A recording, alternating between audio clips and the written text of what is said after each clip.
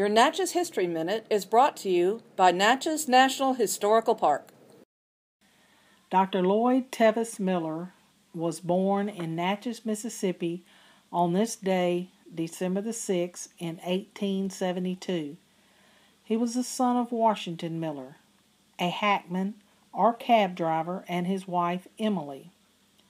Dr. Miller was one of the few African American physicians in Mississippi and established a medical practice in Yazoo City in the late 1890s.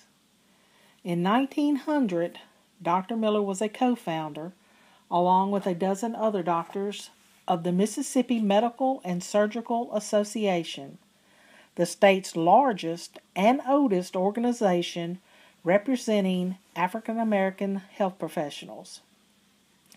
In 1928, T.J. Huddleston established the Afro American Hospital in Yazoo City to provide medical services for the Afro American sons and daughters, a statewide fraternal insurance organization that provided death and hospitalization benefits to its members. Dr. Miller was chosen as the hospital's first medical director.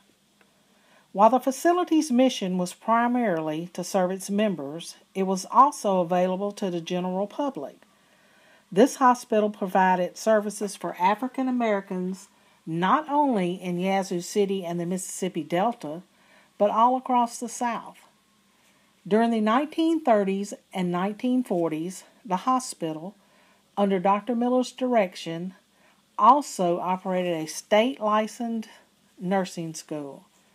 Dr. Miller died in March of 1951.